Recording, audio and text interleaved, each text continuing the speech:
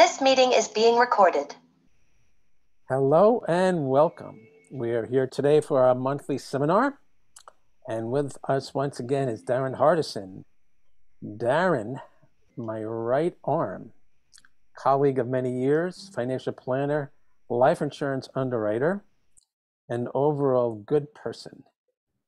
Today's topic is going to be the use of life insurance in funding a buy sell agreement, which is of critical appeal to our audience members who do run businesses, who do have partners, and also to advisors, accountants, coaches, attorneys who advise business owners on their business and financial planning. So, Darren, let us begin. Um, when we talk about using life insurance to fund a partnership agreement, let's start with saying, what exactly is a partnership agreement? Um, it's interesting, and good morning, everybody. It's it's interesting in that it can mean different things uh, to different people in in different circumstances. So oftentimes, um, you know, we'll be introduced to a new business, um, to new clients, and they'll say, "I need life insurance uh, to to fund." Uh, my business and sometimes it's it's you know it's it's fact finding it's well what's the ultimate purpose and to your point is, um, you know, there's a there's a formal you know business agreement meaning if this happens uh, if one of the partners dies then the surviving partner you know buys their interest um, from their family. Um, it doesn't have to be a formal business arrangement meaning an attorney doesn't have to dry up, uh, draw up a formal buy sell agreement. It can just be uh, their mutual agreement, their understanding of, of what they want to happen. And I always remind people life insurance really is nothing more uh, than the funding to satisfy whatever their agreement is. Okay, so let's take a look at that. So let's take a look at the flow of a business. So we have Mo and Larry, who are business partners, and they're each married, and, and unfortunately, Mo dies. So what happens to his share of the business?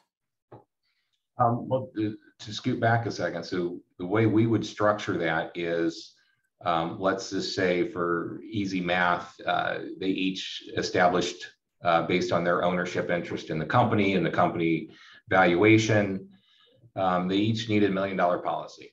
So typically in that arrangement, each partner would own the other's uh, life insurance policy so they you know they could be sure that the policy stayed in force. And um, uh, you know the surviving partner would be the beneficiary.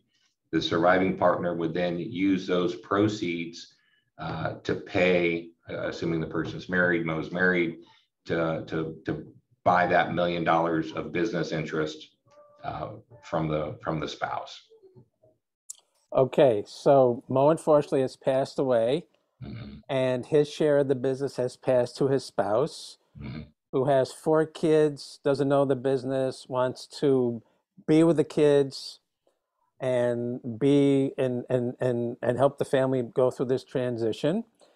So she has shares of a business that she doesn't want, but she wants money. So as you just described, um, Larry had been holding a million dollar policy on Mo. So Larry's now the beneficiary of that million dollar policy, right? Yeah. So so what happens? So Larry has the money and Mrs. Mo has the shares of the business. So what do they do? They make a trade? Yeah, in essence, again, that's it, it's really satisfying both parties. It protects the wife in that uh, she doesn't have to become involved in a business that she probably doesn't know anything about so she doesn't have the skill set to, to go in and and you know add value the way her husband did um, so in essence you know she would be holding uh, you know a million dollars of equity in a company that she knows nothing about likewise uh, their surviving partner um, I, am always delicate when I say this. Uh, he doesn't necessarily want uh, uh, a spouse who has no no knowledge of the business to come in and be his 50% partner. Uh, nothing against the spouse. It's just she doesn't, you know, have the necessary skill set. So in essence, it's, um, you know, in essence, a, a, a pre a pre uh, designed exit strategy where the wife says, "Hey, I, I give me my million dollars um, per the uh, the buy sell arrangement, whether it's formal or, or informal. That that share, that fifty percent share of the deceased owner, uh, now goes to the surviving owner." Okay, so everybody then is made whole. She has what she wants, which is just money to take care of her family. He has what he wants, which is now the shares of the business. He has his shares and he has the shares of his deceased partner. Yeah. Okay. So, so what would happen if um, they got so busy with their business as people do and they neglected to take out life insurance on one another? Still, we have the situation of Mrs. Mo having sh- half the shares of the business, Mm. but Larry doesn't have a million dollars of life insurance benefit. So, what does he do? Um, unfortunately, we've seen that, and it's uh, it's it's just not pretty. I mean, then you you've got uh, a lot of a lot of resentment and uh, um, you know a situation where you know the the business is disrupted. Regardless, even with the life insurance, you know there's going to be an adjustment period for the business to you know kind of to kind of get settled with with the surviving partner. Um, but without that liquidity to satisfy uh, the spouse, and then you know the spouse typically is is going to want to get involved in the business to be sure you know that, that at least she's able to derive some sort of income stream from it. It's just it's just hard because that's as you know, business is hard enough when things are going smoothly, and when you throw a, a wrench into the machine like that, um, it just it, it's chaos. I guess a little chaotic would be the best way to explain it. Chaos is a good word. Um, Of course, if, if they had, if, if Larry had a million dollars in retained earnings, you know, he, he, he could gut that, but then that's going to cripple the business's liquidity. Um, I'm sure there's other things that he would rather be doing with a million dollars available in cash in his business, besides paying off the grieving widow of his former partner. But, but if they did have an agreement, he's going to have to do it. Otherwise, it sounds like she would have grounds to sue him. And Yeah, yeah, and, and a lot of smaller businesses. I mean, frankly, um, you know, they can't afford to to have a, a huge amount of, of retained earnings. They are using their capital to to grow, to buy new equipment, to buy, you know, new space or you know whatever the nature of their business is. Um, I mean, frankly, it's not really efficient to keep a inordinate amount of uh, you know cash on hand. So the life insurance is a very uh, inexpensive, comparatively inexpensive way just to you know to diffuse that you know possible situation. No, for sure it is. All right, let's let's assume now that they believe in life insurance. They understand that it's it's a financially very efficient way of funding the agreement. But let's suppose um, Mo is a an older person with diabetes and a heart history, and Larry is a much younger, healthy guy. Um, do you, is would life insurance still be an option for these guys? Yeah, I mean, typically, um, again, you you pay uh, you know pay a, a premium commensurate with with your age and your medical history. Um, so even if if two individuals are healthy, as you know, you pay you pay more you know based on your age, just actuarially. Um, you know, with with impaired risk or medical history. Um, again, one of one of our sweet spots, one of our specialties with with my underwriting background um, yeah, then it's, you know, we go back to our pre-qualification that we always talk about and get the, you know, get the person pre-qualified before we have them jump through too many hurdles. And in getting pre-qualified, they're able to understand what the rate structure would be even before they apply. So, so I mean, it's only natural. I mean, partners want there to be some kind of equality. So, in this scenario, with with Mo being older and having some existing medical conditions, and Larry being younger and healthy, it's safe to say that for the same amount of insurance, for the same coverage period 10, 15, 20 years, whatever it is um, the premium is going to be much higher for Mo than it is for Larry.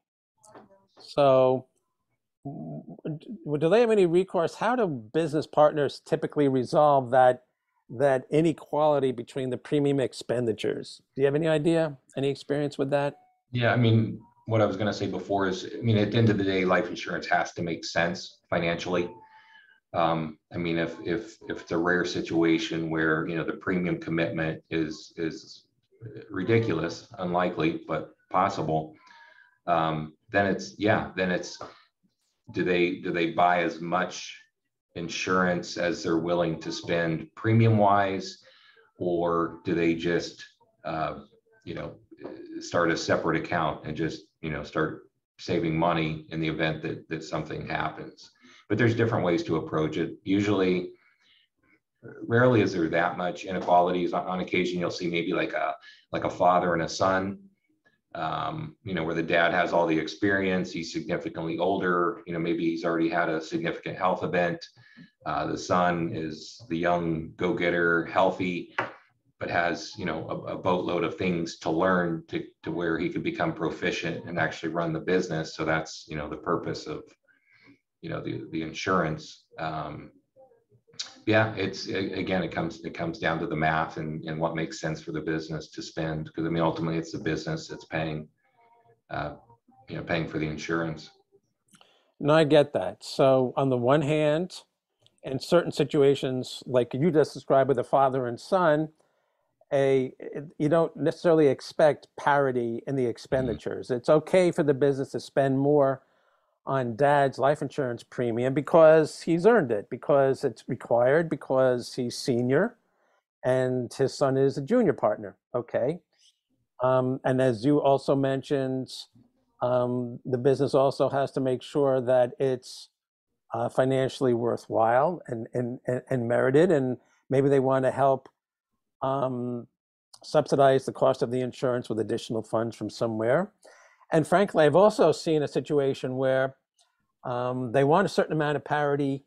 They accept that Mo is, is going to be cost more for the business to to insure Mo, and they make it up somewhere else. I you know I tell them go to your accountant, maybe end of year bonuses or you know whatever distribution they want to make at the end of the year can be tilted more in favor of Larry at the end of the year because the business has already spent more money on Mo's coverage type of thing meaning that there's there's a certain bag of tricks available to the accountant to compensate for spending more on one partner for life insurance than another.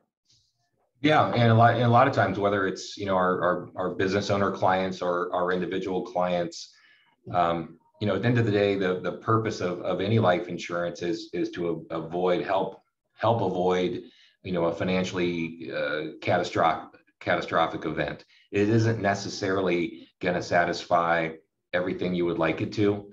You know, if, if, you know, if we have a million dollars coming in, that's going to, you know, save our bacon, so to speak. Um, the, the numbers say we really should have 2 million. Um, but with a million, things are going to be okay. You know, we might have to juggle and, and do some different things and, you know, retool, um, but that's okay. And it's the same thing with personal insurance. Somebody's like, well, how much should I have? Um, well, there's how much should I have and how much am I willing to spend. So that's always, you know, arriving at the amount of insurance for anybody, as you know, it's, you know, what what feels right.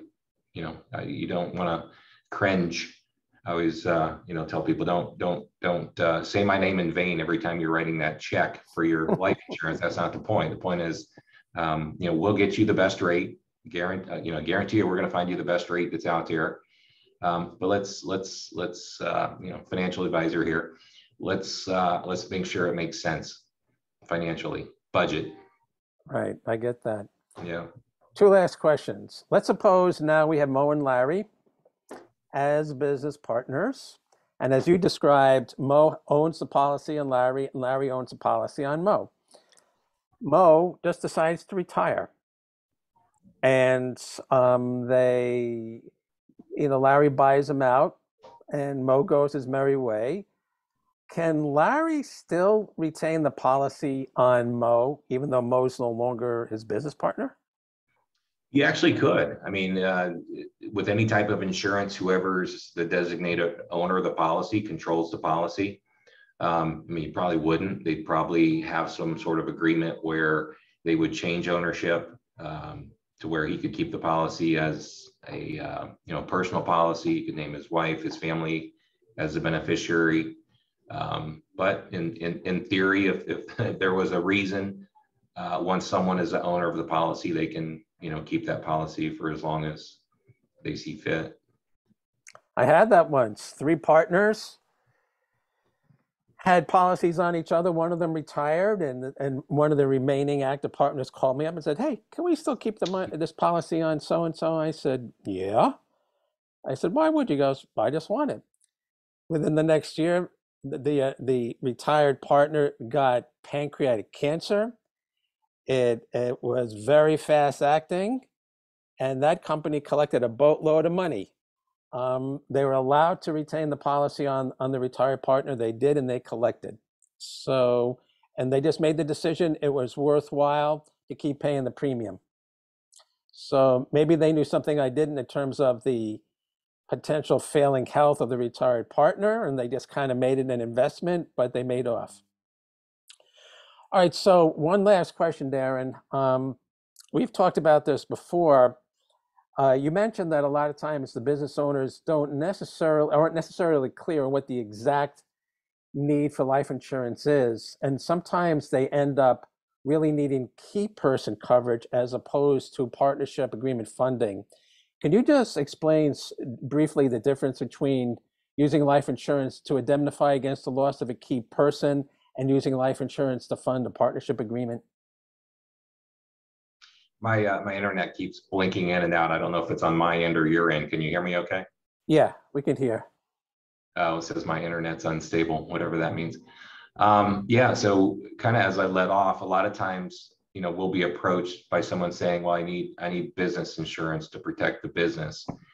And you know, once once we peel back the layers a little bit, oftentimes what they're referring to is like a, a key person policy, meaning you know the, the company would greatly suffer if you know maybe it's the the top sales guy or the, the top engineer or the top um, you know, the senior manager that has all the, the relationships for all the different sales contracts, whatever.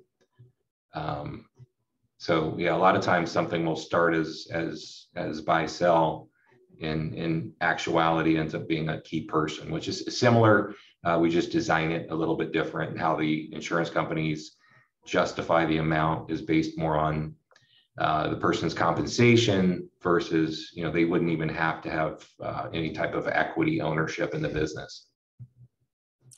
Got it. That's a good summary. And uh, I do know Again, that that'd some, a good, a good topic for another day. We could talk, you know, simply about key person. So yes, you're exactly right. That's what I was going to say. So we are going to have a feature on key person coverage in the upcoming months. good. And having said that, that brings us to the end of today's educational seminar. Thank you once again, Darren. You have once again provided clarity on the world of life insurance and as it applies to business personal finance. And we can once again see the magic of this product. Thank you, everybody, for attending, and we will see you next month. Have a good rest of the day. Good day.